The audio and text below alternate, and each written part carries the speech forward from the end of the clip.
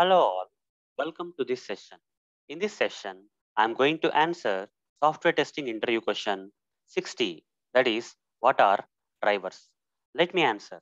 Drivers are used in one of these integration testing approaches.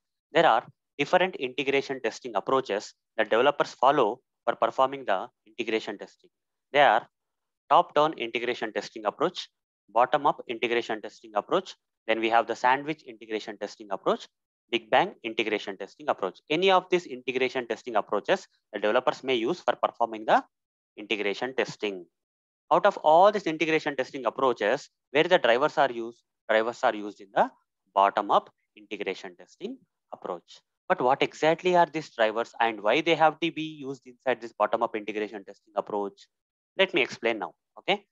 So guys, here, as you can see, there's a box and uh, here I mentioned bottom-up which states bottom-up integration testing approach. As part of bottom-up integration testing approach, the developers, while performing the integration testing, will integrate the low-level units, okay? The lower-level units, developers will integrate these lower-level units with their higher-level units, okay? The next level, higher, higher-level units.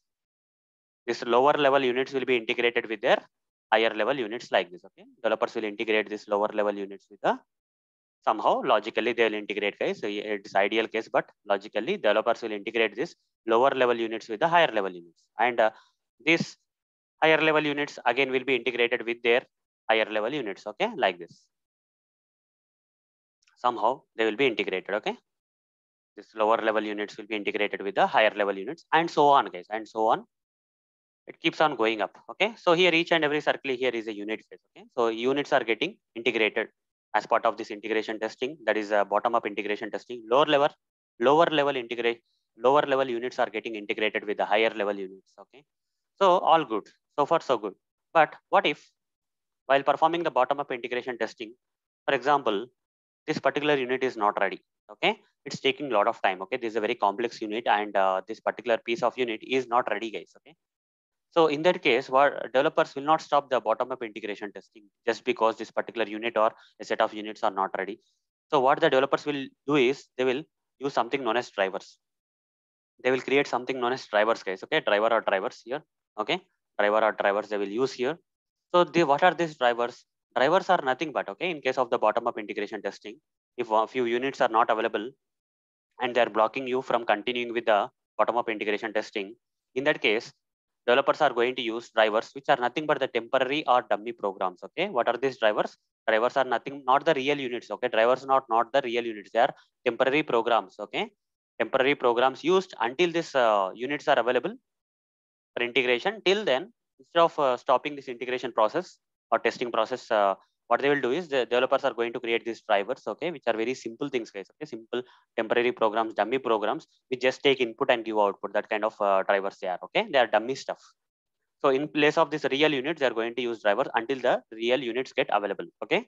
So so that the integration testing will continue. So that's what I, that's what are drivers guys okay until the units are ready developers are going to use drivers which are temporary programs or dummy programs okay for continuing their integration testing as part of the bottom-up integration testing approach.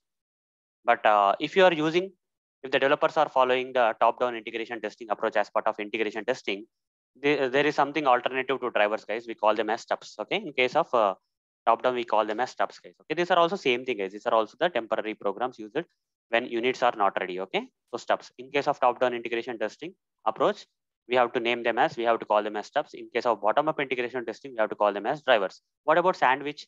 In sandwich case sandwich is a combination of top down and bottom up. So hence both will be there okay? Sandwich is a combination of top down and uh, bottom ups. That's why both stubs sign drivers will be used okay? Which are nothing but temporary programs. So hope guys you got the idea what exactly are drivers now.